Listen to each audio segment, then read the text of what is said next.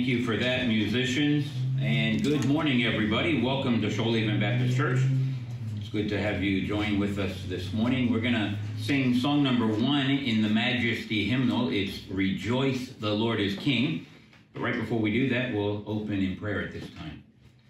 Dear Lord, thank you for your goodness to us. Thank you for this opportunity that you give us once again, Lord, to, to sing, to worship you, to praise you. Lord, we pray that you'd help our hearts to be prepared for the preaching and teaching of your word. Lord, help us to, to hear wondrous things uh, out of thy law. Lord, help us to, to understand more of your will for our lives and help us to be obedient to it. We pray that you'd be with Pastor Shellabear as he preaches and be with us as we listen. We pray that your kingdom would be advanced and that you'd be uplifted and glorified. We pray it in Jesus' name. Amen.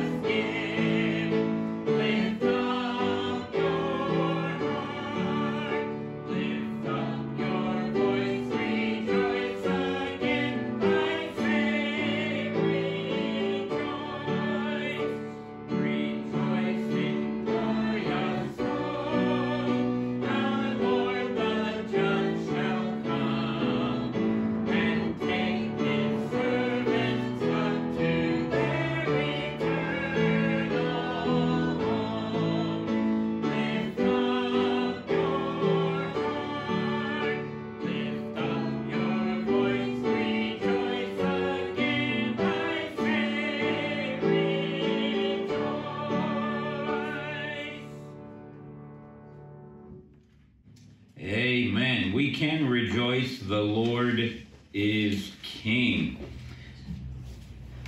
All right, let's make a couple of announcements and then uh, we'll go ahead and go over. It's a new memory verse. We're going to start it just a little bit early. You probably already got it in the mail. If you haven't, uh, you can open your Bibles to Matthew chapter 11.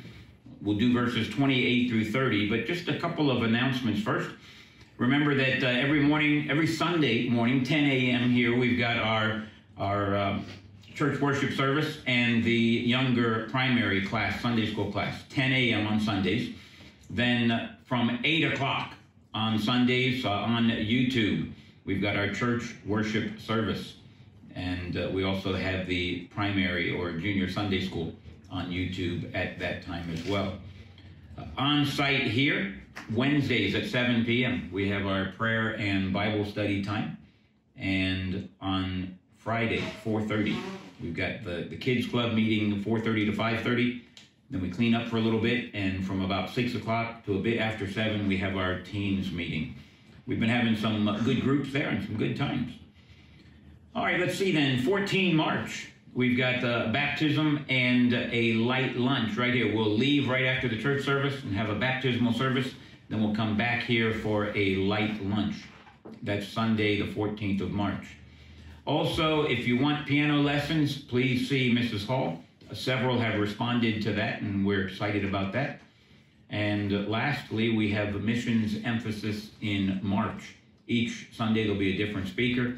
Uh, Pastor Shellabear, myself, and Pastor Rodney Skelton from Lighthouse Bible Baptist Church in Ulladulla. All right, let's go ahead and go over Matthew 11, and we'll do verses 28 through 30. We'll do it twice uh, as we normally do. Matthew chapter 11, verses 28 to 30. Come unto me, all ye that labor and are heavy laden, and I will give you rest. Take my yoke upon you, and learn of me, for I am meek and lowly in heart, and ye shall find rest unto your souls. For my yoke is easy, and my burden light. Matthew chapter 11, verses 28 to 30. Let's do that again. Matthew chapter 11, verses 28 to 30.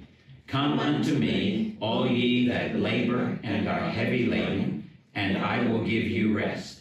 Take my yoke upon you, and learn of me, for I am meek and lowly in heart, and ye shall find rest unto your souls. For my yoke is easy, and my burden is light. Matthew chapter 11, verses 28 to 30. Amen. All right, let's go ahead and pray then for uh, the offerings that have been coming in. And uh, please continue to do so. We're thankful for that. Uh, you can give online or you can come and put it in the box uh, in the foyer.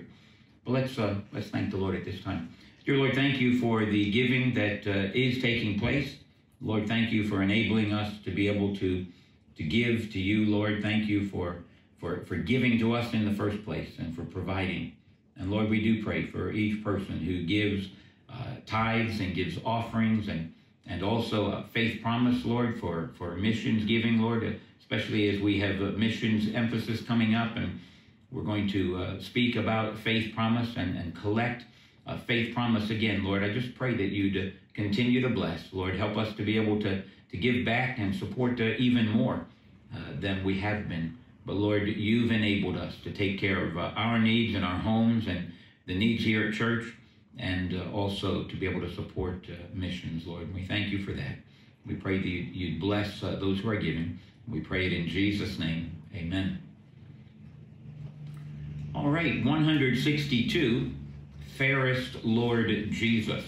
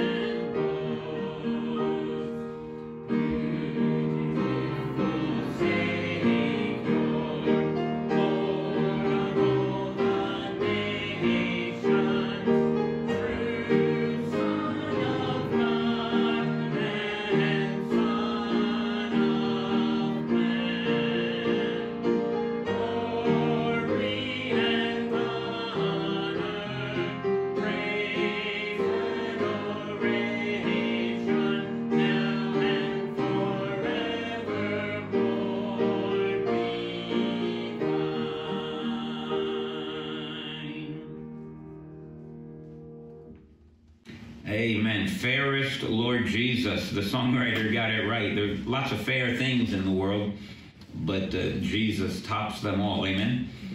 All right. Uh, looking forward to hearing Pastor Shellabear preach again for us. Uh, so please come at this time if you would.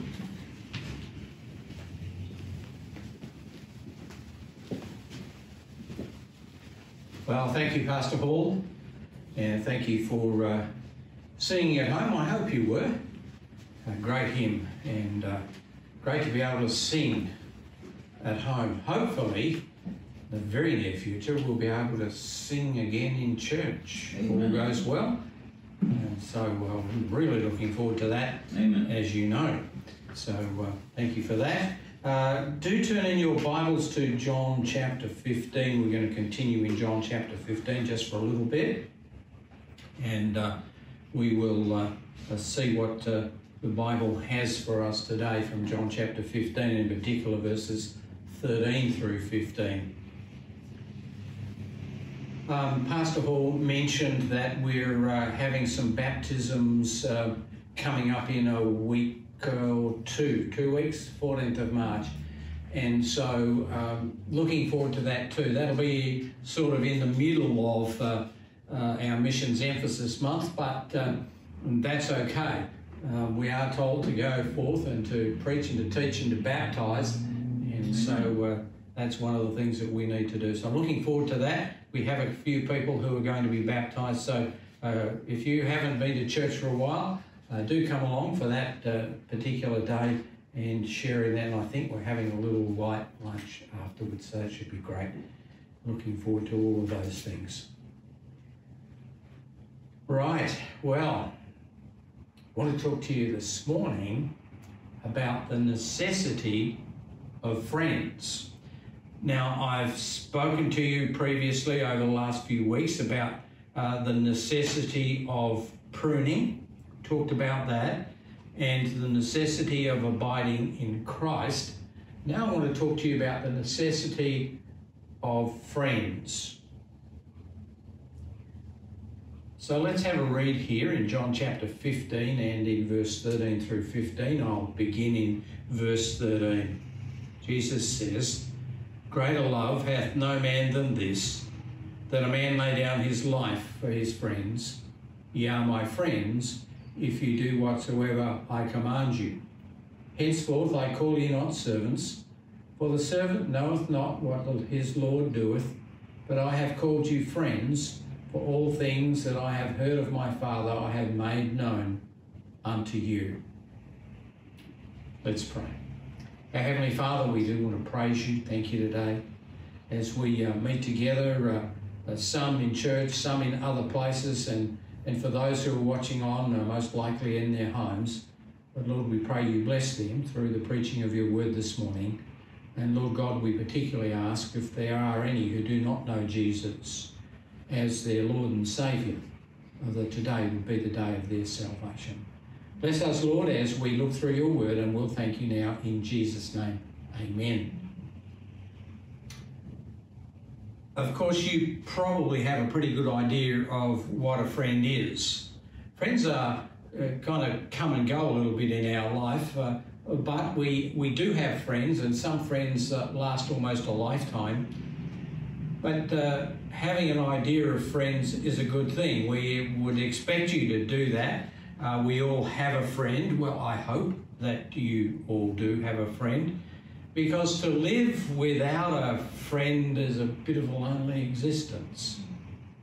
Unfortunately for us, sometimes people who we thought were our friends turn out not to be. Then at other times, we can be pleasantly surprised when uh, somebody we weren't really sure was a friend turns out uh, to be uh, a friend indeed and a friend in need. Friendship's a particular need of mankind. Uh, uh the need of friends uh, is, an, is a necessary part of our existence. To have a true friend in life is a blessing. And yet, there are times when we fail to appreciate our dearest friends.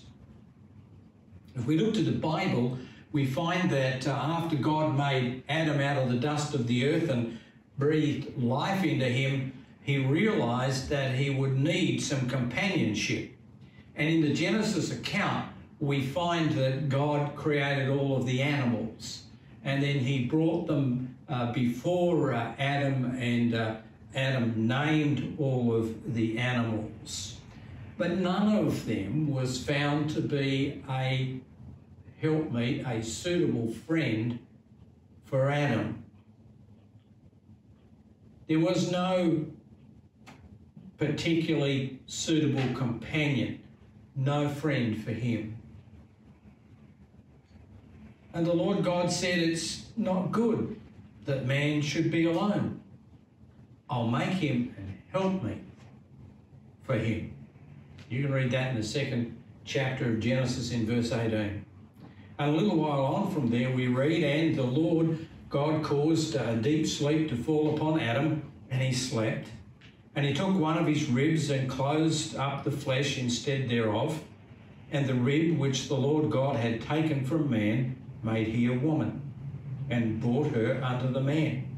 And Adam said, This is now bone of my bones, and flesh of my flesh. She shall be called woman, because she was taken out of man. And so it was that man's first friend was a woman. Coincidentally, a woman's first friend was a man. And in the scheme of things, I'm quite sure that that's significant and it's worth remembering. As I mentioned, we all have a friend, and if we don't, we sure do need one. We want to have a friend. We need a friend, someone close to us that can be there when we need them. We need a friend. It just seems to be a part of human nature. Some of us have pets and uh, so on as friends, but there's nothing quite the same as a human friend. So I wanted to share with you this necessity of a friend.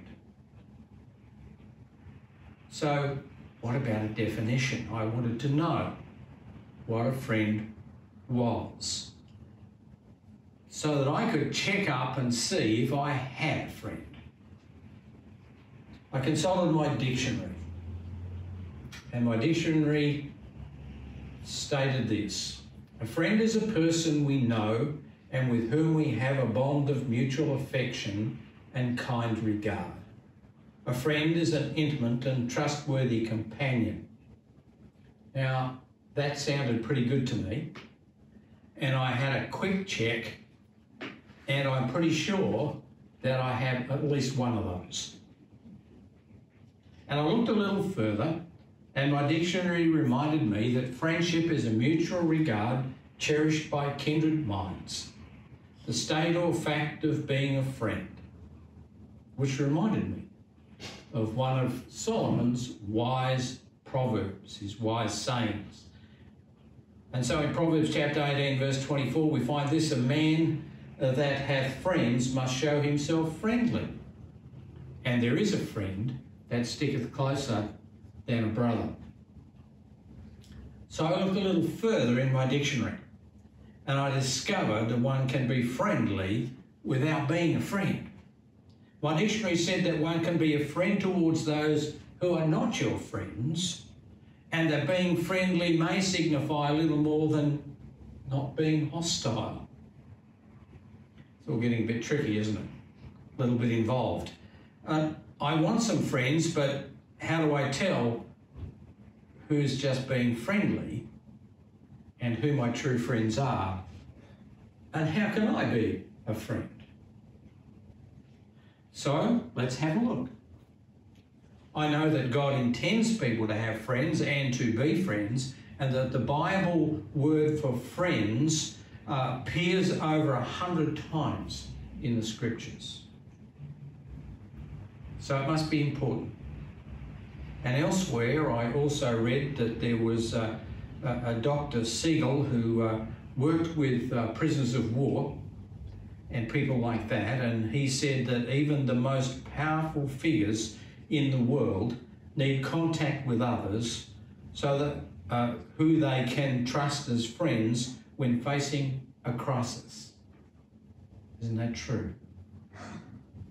He went on to say that in a study of over 2,000 people who had suffered trauma, including physical abuse, survivors were healthier if they managed to confide in someone they called a friend.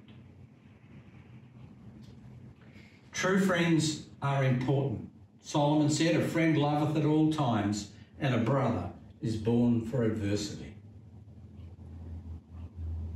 Here, this verse of scripture brings together a friend who is not necessarily a member of the family and one who is a member of the family and who acts as a friend. A friend loveth at all times, and a brother is born for adversity. You know, some people say uh, blood is thicker than water. Well, that's what that brotherly kind of love speaks about, isn't it? But friends also can be people who will stick with you through thick and thin. Sometimes there are non family friends who we value very highly and have proved themselves to be true friends over the years and through difficulties.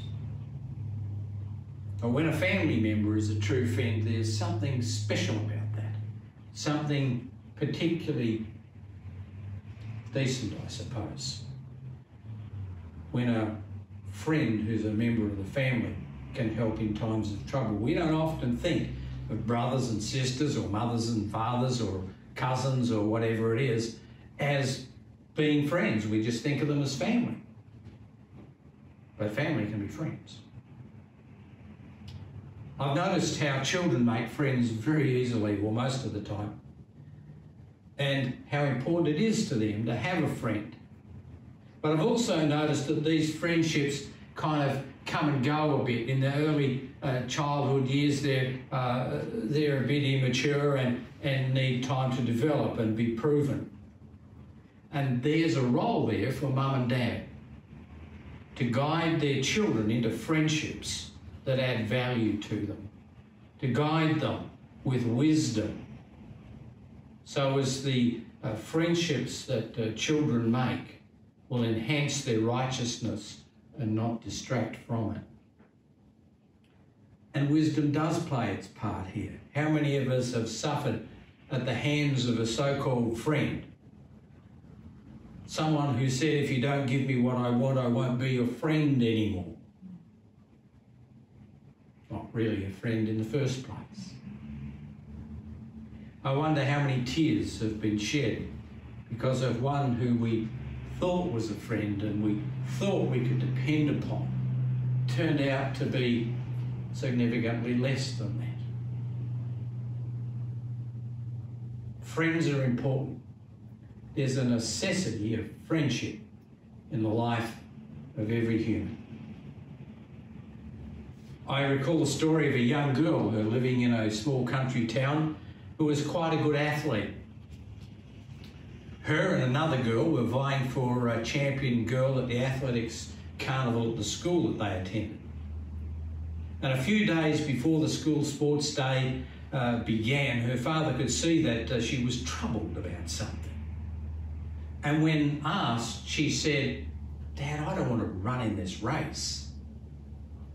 And that seems strange because she was good and she loved sport and she had a chance of winning.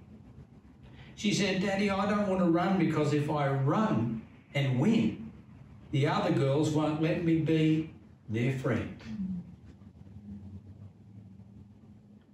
And so her father, with uh, some degree of wisdom, said to her, It's okay. You run and I'll be your friend. She ran and Dad cheered her on. And today, they're still friends. Friends are just so important in life. And we need faithful friends. We all need true friends, and we need faithful friends. Being a faithful friend is not always easy, though. If you want to have faithful friends, you will need to be a faithful friend. You share days together, you share ideas, you share each other's joys, uh, each other's disappointments. Well, what happens one day when this good friend of yours has made a decision that, if carried through, is going to bring them more trouble than good? And there you are looking in, so to speak, from the outside in and, and seeing what might happen. And all you can see is the potential of disaster to unfold. What do you do? What should you do when that friend of yours is headed for trouble? The wise King Solomon said, Faithful are the wounds of a friend, but the kisses of an enemy are deceitful. The sweet words of one who's not concerned for your best, but is only wanting an end that suits themselves, is deceitful careless words of one who only looks for the immediate and flat, flattering words of one who only looks for appearance. It's not worth anything. These things are no better than lies. They are kisses of deceit which lead us to make poor decisions in order to please or advance their selfish desires without consideration for our well being. This is not the action of a friend. If you're a faithful friend, the time will surely come sometime in your life when you are going to have to risk that friendship for the sake of your friend and offer good advice, which just might not be too easy to do at the time. Sometimes some people are saying, yes, go ahead and do this and whatever and all you can see is disaster, and you need to counsel your friend. Sometimes we're fearful, even with good friends, to say to them that, that they most need to know, but don't want to hear. Parents can be in that situation too. Parents can become as enemies if they give um, uh, unmeasured, uh, de- give in to unmeasured demands of their children. When they don't want to chance a tirade of, uh, you know, expressions and perhaps even expletives of dislike for a short time, can bring on a long time of discomfort for all. There may well come a time when a faithful friend will have to do as Paul once advised the Ephesians to speak the truth in love. Simply because we don't want the best for our friend. Sorry, simply because we do want the best for our friend. We need to act in love. Amen. That's love. That's agape love. That's wanting what's best for the object of your love. We're not always right, of course.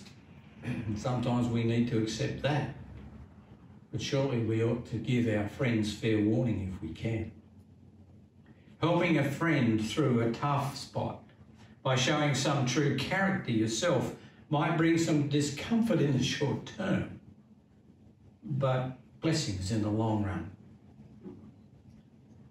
Be sure when all is done, faithful are the wounds of a friend.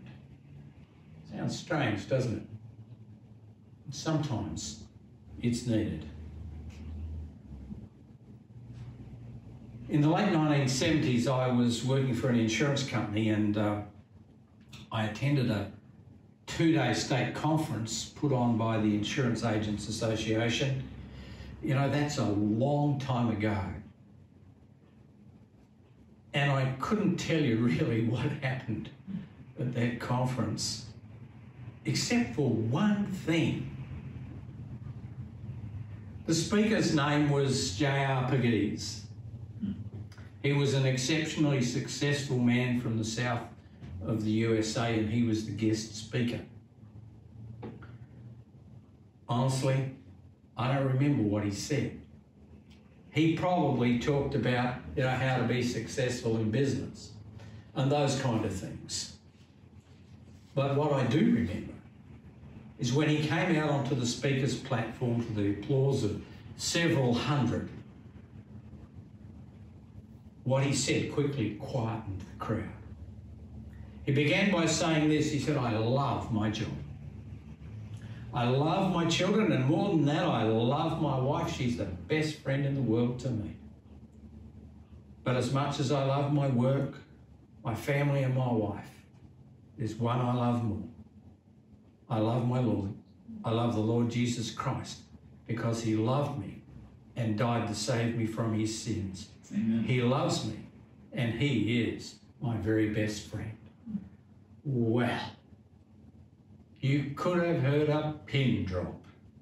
It was silence.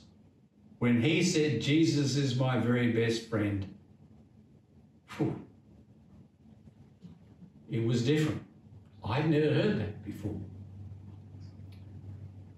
I was just beginning my Christian walk, discovering about my faith. And I didn't understand the depth and the breadth of what he had said. But I remember thinking, that's pretty amazing. And somehow through the years, I've remembered it. When it comes to friendship, Jesus shows us the way. There is no greater example than can be set in all the pages of all of history's great books than Jesus Christ.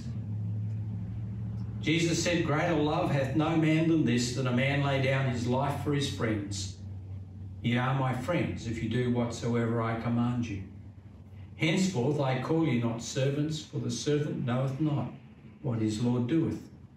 But I've called your friend, called you friends, for all things that I have heard of my Father I have made known unto you. The greatest friendship you can have is that friendship that you develop with Jesus Christ.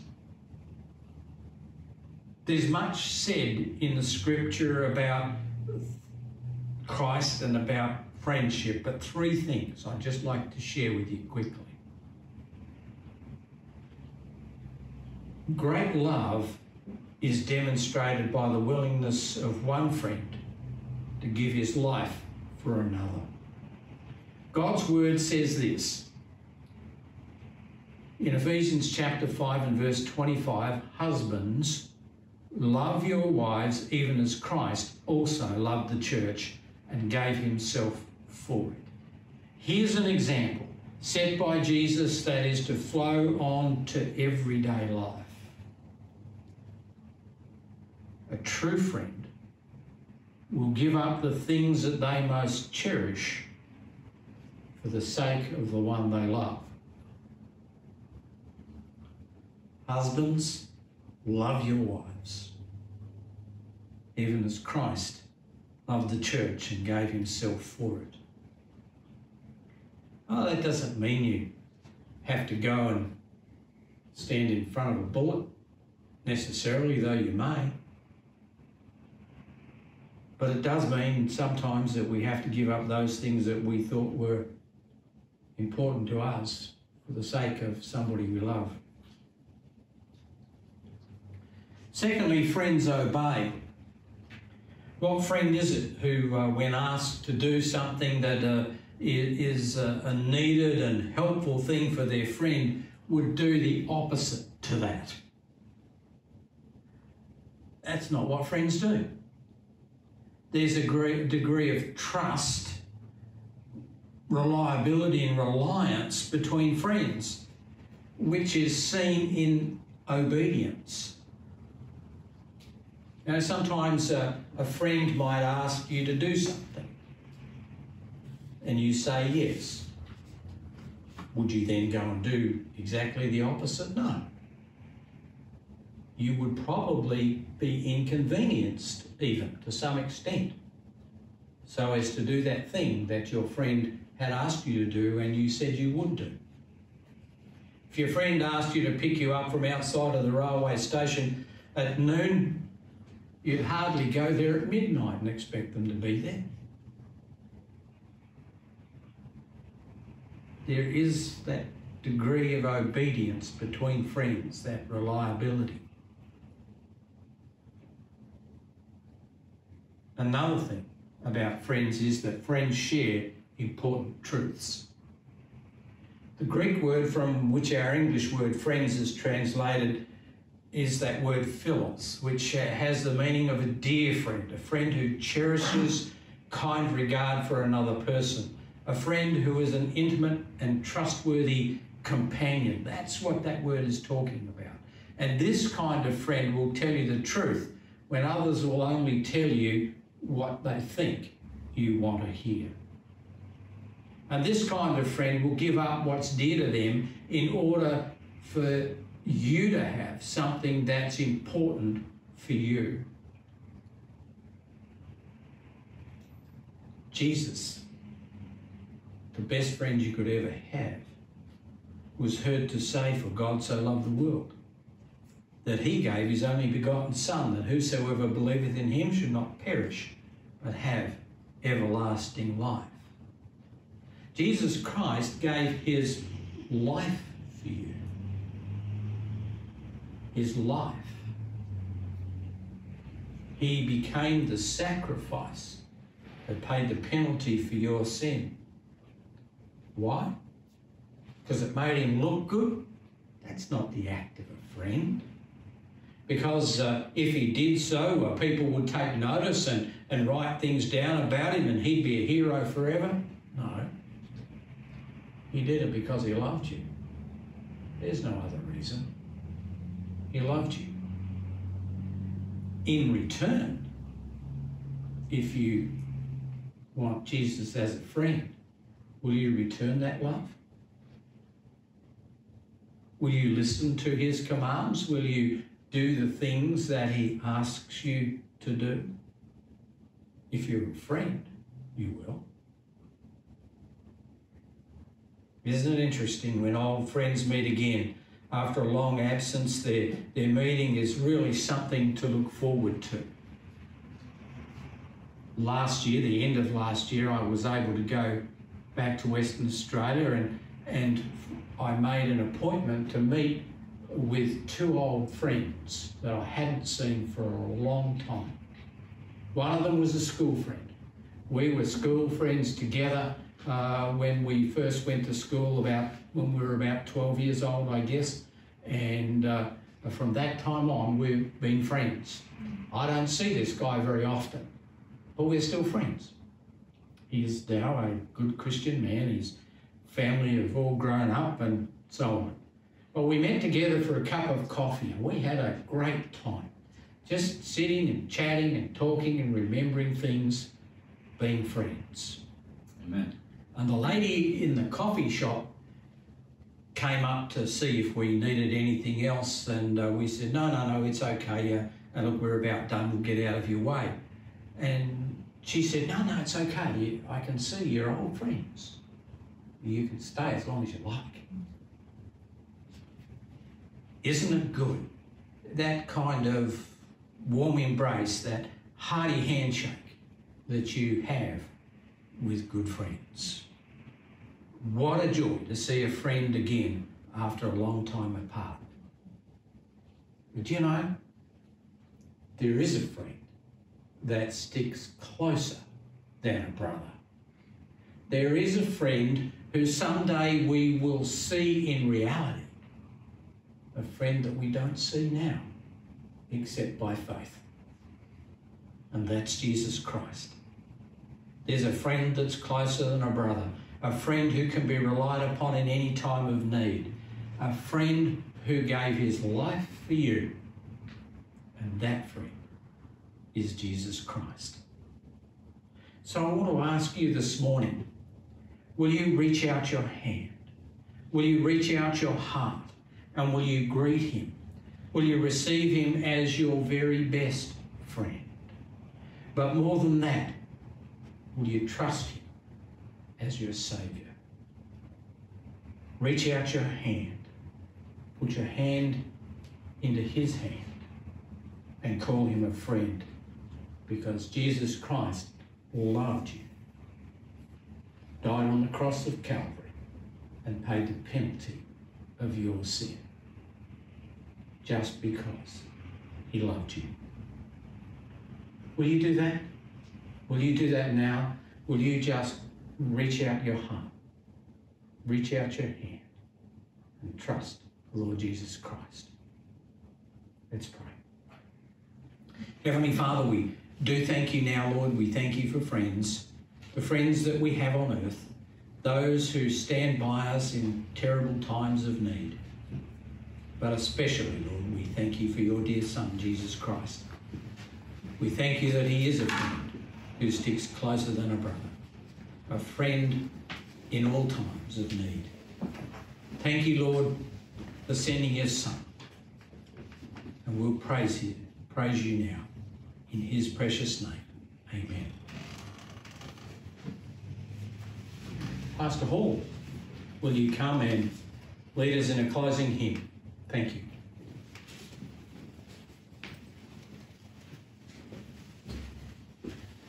Yes, sir. Thank you for that message. Isn't Jesus the best friend? But we need to be reliable. We need to stick close. We need to speak the truth in love. We need to be giving. And uh, I work hard at that and I fail sometimes, but uh, Jesus never fails at that. Amen. Let's sing 161. 161 uh, in the Majesty hymn. What a friend we have in Jesus.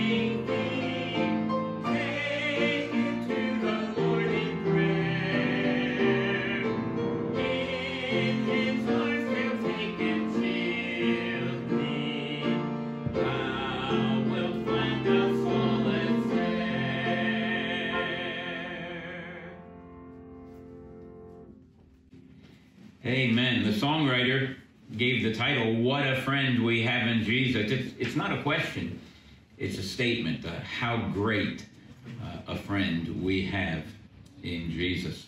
Uh, thank you for the preaching and teaching, Pastor Shellabear. Thank you for joining uh, us all along here, uh, those who are in the audience there. Let's, uh, let's close in prayer. Dear Lord, thank you for the reminder today of the necessity of friends, how we need friends, how we ought to cherish and love and appreciate our friends. Lord, we ought to seek out good friends. But Lord, then there's the other side of that coin. We need to be good friends. We need to care. We need to speak the truth in love. We need to be reliable, dependable. Lord, we need to be giving and sacrificial. Lord, we're so thankful that you are the greatest example in all things. Lord, uh, in this uh, uh, idea of friendship, thank you for your example. Help us to, to follow it and seek to be like you. Thank you for being our great friend.